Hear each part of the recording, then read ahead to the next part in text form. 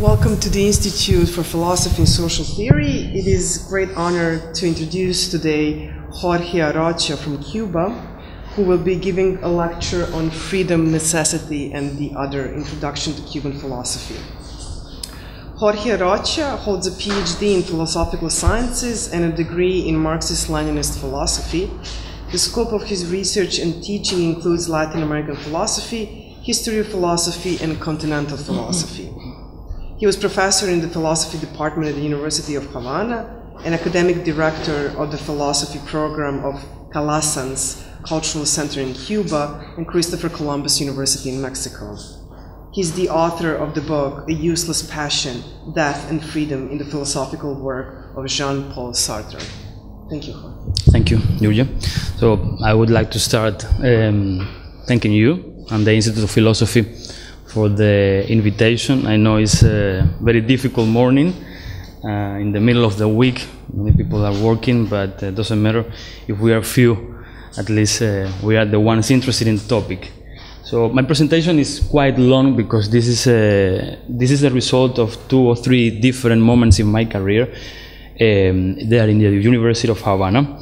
So I have here, this is like a Frankenstein with different topics, but I tried to encompass all these uh, different topics into one just very brief introduction to the, what we call Cuban philosophy, which is a very polemic term, I know that.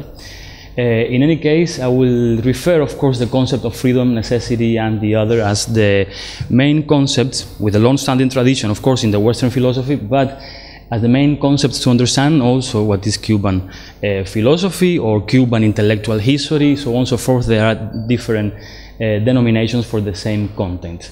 Um, I was working mostly in the last nine years in the university in continental philosophy, Jacques Derrida, Jean-Paul Sartre, Michel Foucault.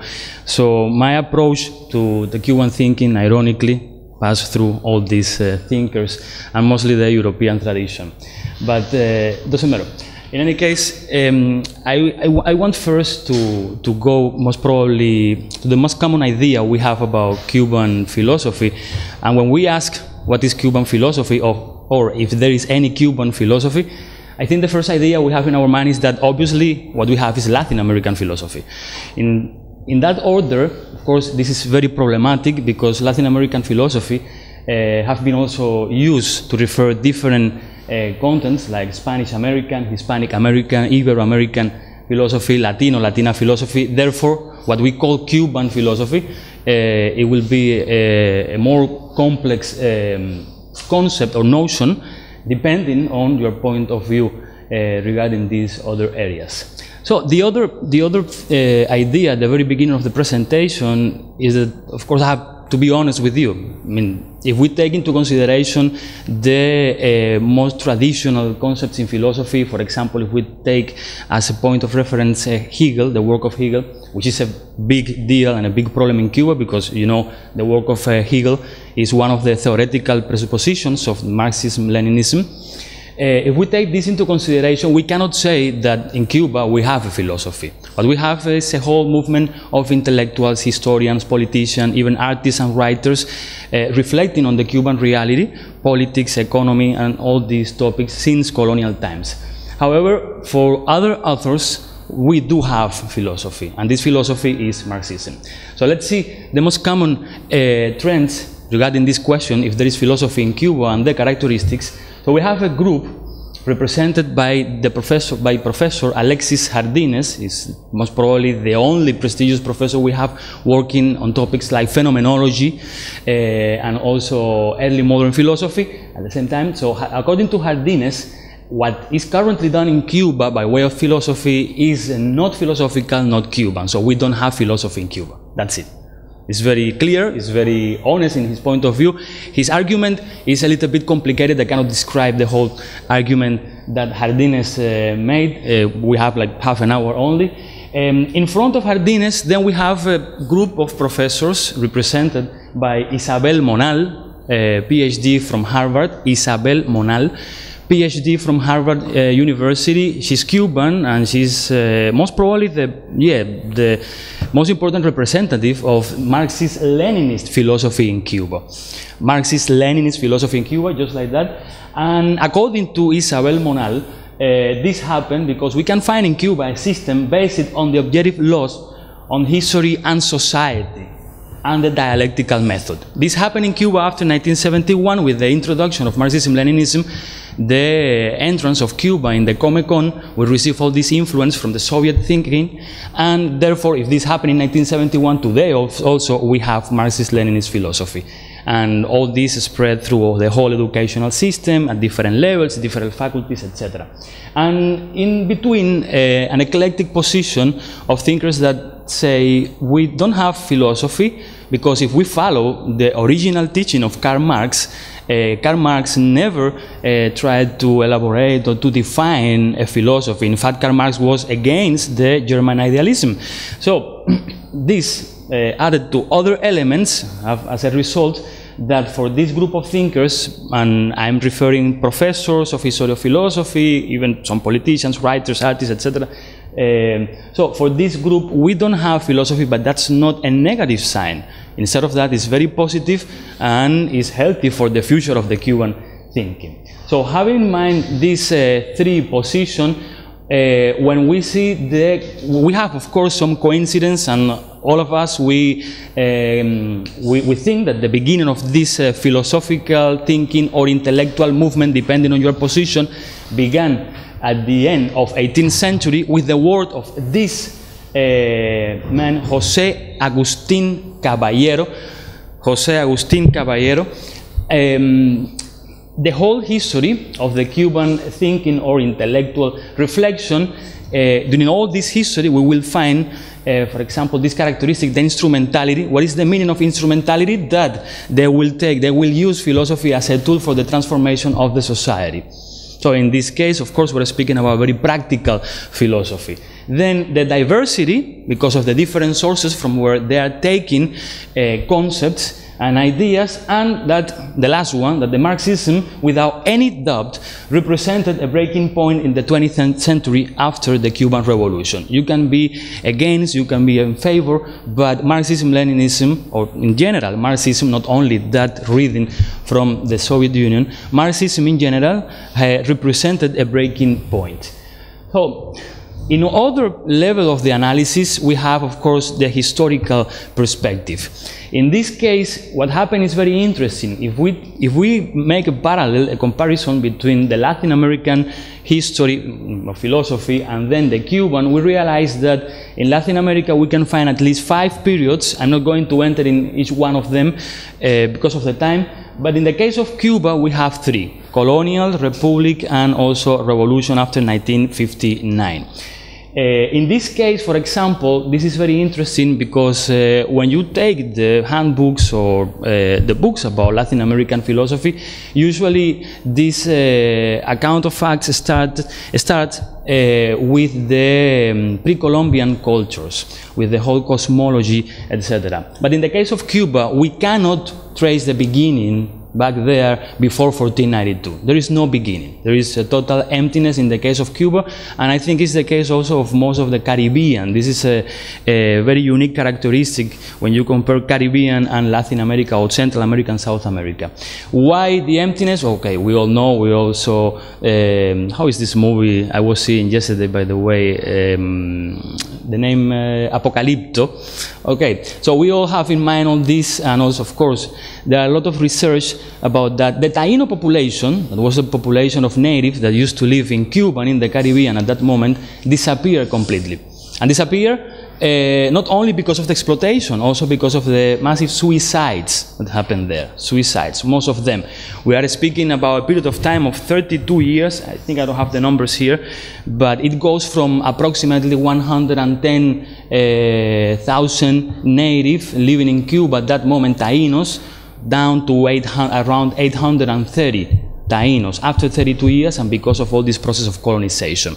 So we don't have a cosmology, we don't have mythology, we don't have religion, and we go straight to the end of 18th century with the work of the gentleman I mentioned it before, Jose Agustin Caballero. Then Republic and of course finally Revolution.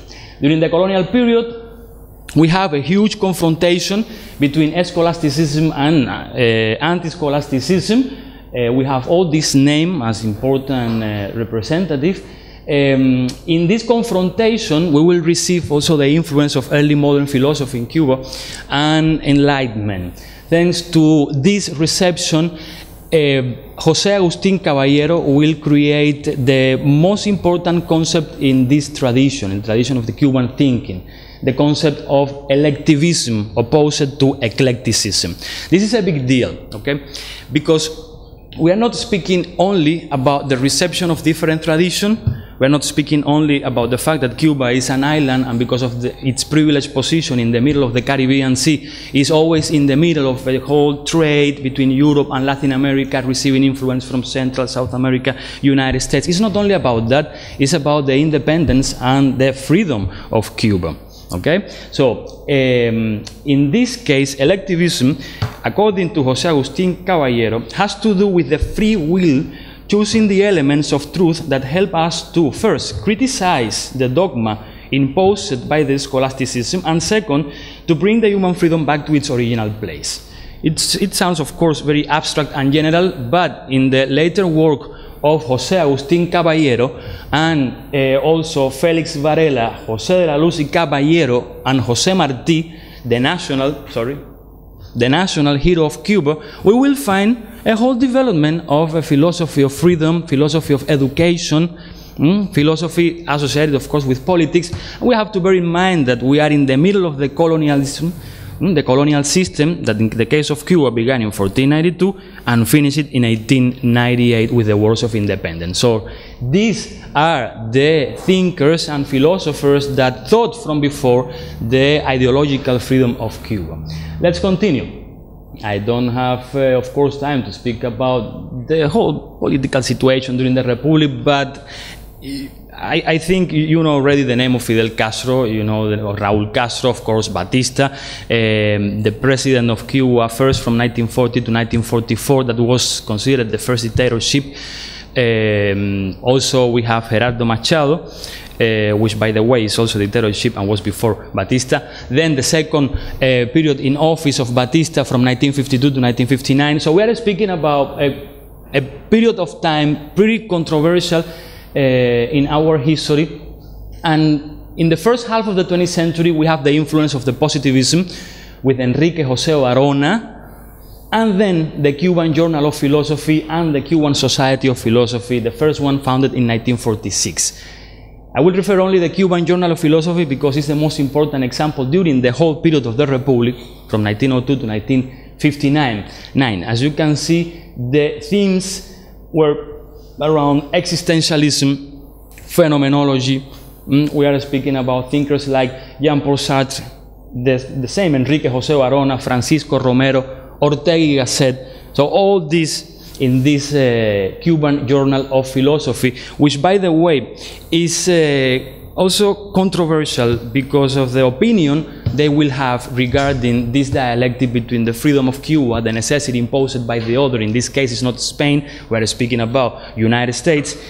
So, according to Piñera Llera, in his book Panorama de la Filosofía Cubana, Panorama of the Cuban Philosophy, he explained, however, I am one of those who understand that the study of local philosophical problems should go after some training in philosophy as such. Here we have again the same argument, like uh, we cannot think in the philosophy of Cuba if we don't go first to the general topics of philosophy, so on and so forth. Um, is uh, longer than this uh, sentence. And after the triumph of the Cuban Revolution, most of the members of the Cuban Journal of Philosophy, they will uh, fled to United, they will go to United States, they will establish there, and they will continue the work of this uh, journal. They will publish more issues, but they will finish after 1961, 1962. Let's continue. The revolution happened, as you may know, in 1959. Uh, this is this is also quite interesting because now we will start to see a philosophy really concerned uh, about the practical matters of this political movement and I'm quoting Castro here. I, I put this uh, expression, this uh, idea of Castro, because most of the people tend to think that the revolution uh, started already with one defined ideology since the very beginning, and that's not the case. Uh, at, least it's my personal opinion, but it's really easy to defend that argument when you just check the whole ideology of the guerrilla uh, led by Fidel Castro from 1952 to 1959, and the only person that is reading Marxism-Leninism in the Sierra Maestra is Che Guevara. Fidel Castro, Fidel Castro at that moment, he's trying to defend a more national revolution, a nationalistic revolution, a Cuban one. Therefore, his readings about philosophy and what will happen at the very beginning, from 1959 to 1962 63, is that we will have philosophers and thinking going back again to this electivism that I mentioned from 19th century okay, and trying to get information, concepts, ideas from different traditions, blended, and then create the Cuban thinking. So Fidel Castro, 1959, there in the United States, this is one of the statements, this revolution is neither capitalist nor communist, etc., etc. Then in front of a journalist, after the insistence of this journal, of this uh, journalist, uh, he said, okay, our revolution is not communist, our revolution is not capitalist, our revolution is uh, green uh, like our palm trees, just like that. It's, it's the moment, it's the spirit of the time. So I, I like to define the 60s in Cuba like the honeymoon period of the revolution. Jean-Paul Sartre was there in 1960. He was two, exactly two times in Cuba. He traveled all over the island with Fidel Castro and Che Guevara.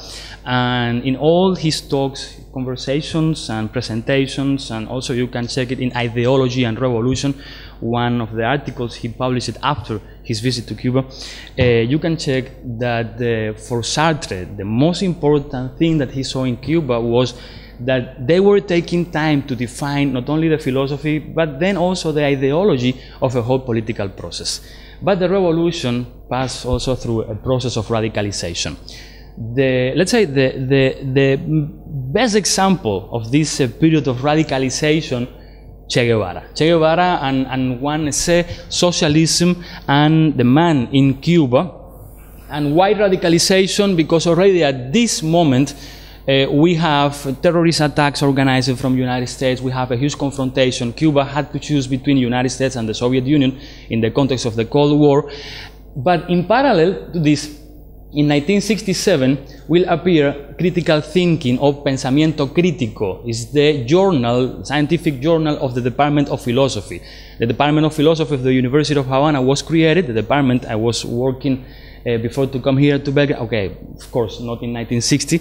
Uh, uh, I was born in 1985. But in any case, uh, critical thinking was created in 67. The Department of Philosophy. This group of intellectuals also they will create the first national publishing house in Cuba and they will publish the work of Gramsci they will publish of course Sartre friend of the revolution till 1971 uh, when happened the Padilla Padilla's case um, then this uh, journal with a critical perspective they, they will approach, they, they, they, will, they will go mostly to the Marxism, but this Marxism from the Western point of view, not the Marxism-Leninism. This, of course, implied a problem. This is a problem for, for, for the moment, especially 1971. But before to go to 1971, let me see if I can find here. I cannot find it right now. Okay, yes, it's here. Between the authors that they published in critical thinking or pensamiento crítico, we will find, for example, George Lukács, Karl Korsch, Sartre, Perry Anderson, Paul Ricoeur, Eric Hobsbawm, we have Adorno, of course, Ernesto Guevara, Aníbal Quijano, Roque Dalton. So this is a project of critical thinking, a, an eclectic project, and trying also to redefine that concept that they took from 19th century philosophy. Now, in 1971, uh, this is this is quite difficult because this is even more recent. The first uh, in the first research I participated, uh, I mean, this one was about Cuban thinking, and, and I decided to take this uh, this line to go into critical thinking and uh, see what kind of philosophy they were doing there and the impact in social science in Cuba and in the humanities. The first time I went to the library, the library of our faculty, just to go and review all the numbers and make you know the whole state of arts of the research, etc. That when I asked for the for the issues, if they had something there, they told me no, we don't have how you don't have? I mean, it's critical thinking. This is the, the most famous intellectual project we have had here in the university. No, we don't have. No, we don't have. After two months, I asked my professor, Professor, what happened? I mean, it's impossible. This is the, this is the journal from the Department of Philosophy. How you don't have the journal? They have the journal. He told me. They have the journal. Of course, they had the journal in the cave. They used to call the cave the, the store of the library where they used to put all the golden books, as they said. You know, of course, was not to the public, was not to the to the students, only for certain professors and certain researchers. In any case, Cuba today is living in a different moment. So if you go there, you can, if you want, I have all the issues, so I can borrow one of them. so nothing. 1971, the introduction uh, of Marxism-Leninism in Cuba after the, the Comecon and the reestablishing of relations between Cuba and the Soviet Union. We are speaking about a very complex uh, moment. It has political ramifications, whole extension there. Uh, so this began in 1971 after the first Congress of Education and Culture one of the results is the period that we call the gray five-year period that includes negative features of dogmatism and intolerance in the intellectual sphere, in the philosophical sphere. And dogmatism, I will read here just one fragment of the book of Martinez Heredia, one of the uh, professors uh, of the department of that department of philosophy and director of critical thinking. Dogmatism involved much, much more than textbooks or monographs.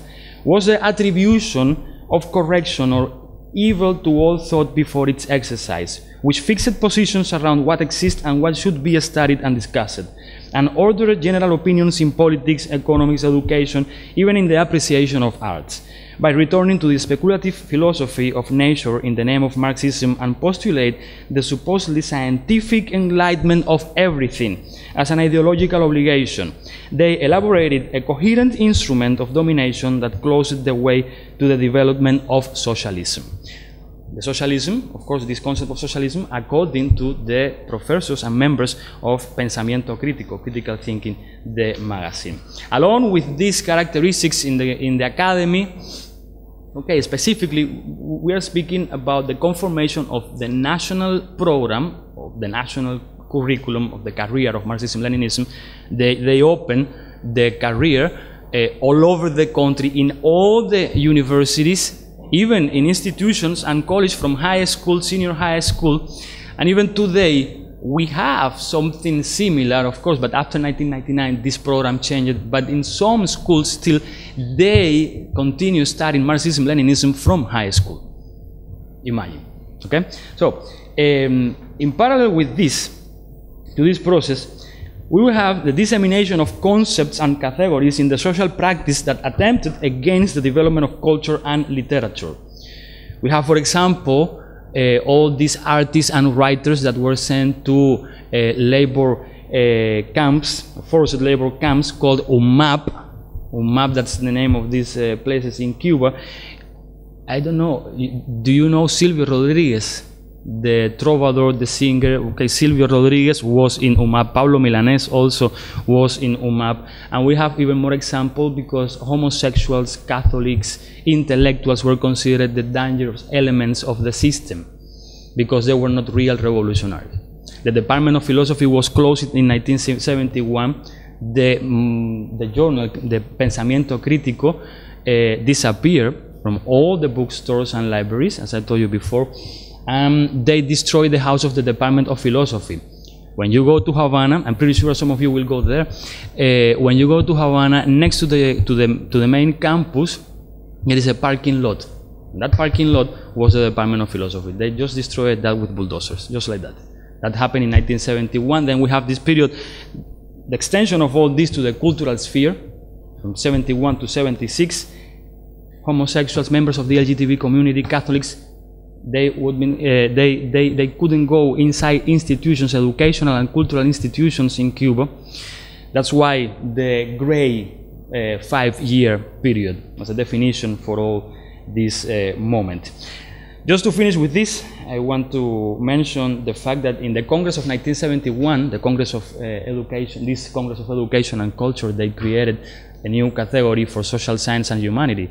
The name was Elvis Presleyanism, after Elvis Presley. And after Elvis Presley, because Elvis Presleyanism identified all these negative tendencies that reminded them the uh, features and concepts from the capitalist world. Not only the rock and roll, were more things, okay?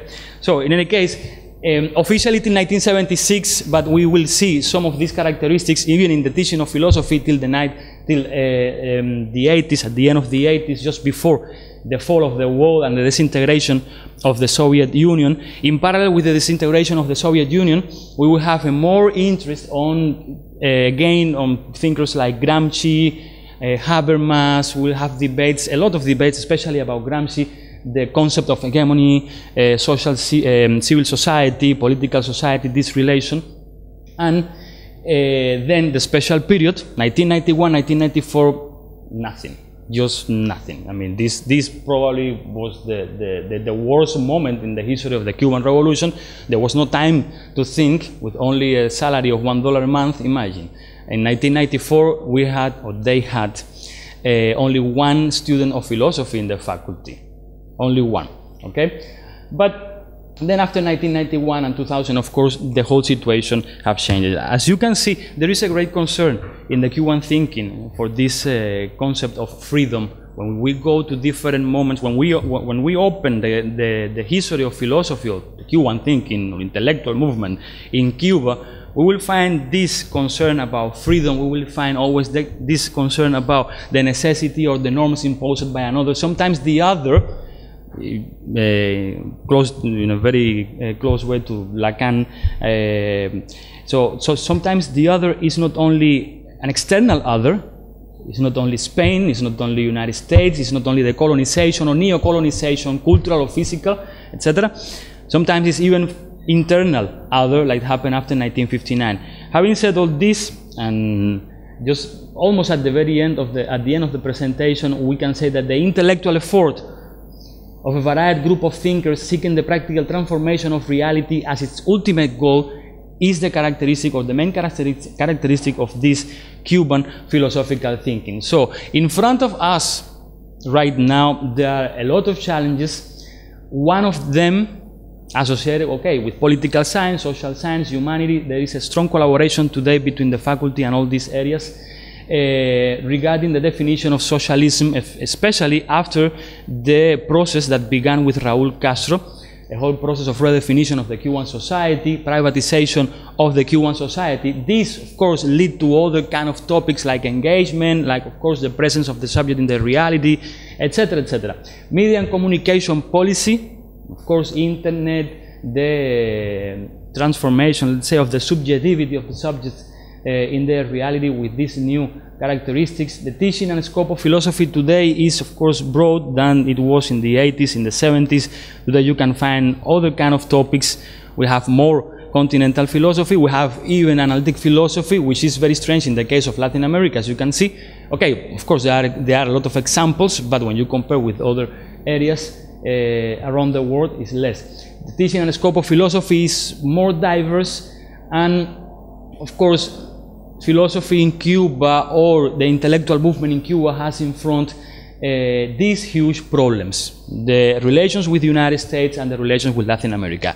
Because of the time, I cannot refer the whole uh, history or all the problematics with United States, but, but this, is, this is a deal, and, and this is not so abstract. This is not only about uh, propaganda in the TV or in the newspapers. We're speaking about embargo that uh, last more than uh, 50 years, around 50 years, sorry, and we are speaking about the impossibility to have normal relations with academics in United States, even with the institutions that will fund your research, that will fund your findings. So this is a problem, and, the, and this is not because United States prohibit that in Cuba. That, that's not the core of the embargo. The problem with the embargo is that the United States prohibit third countries, third organizations, institutions, eh, they, they prohibit the normal trade or relations with Cuba.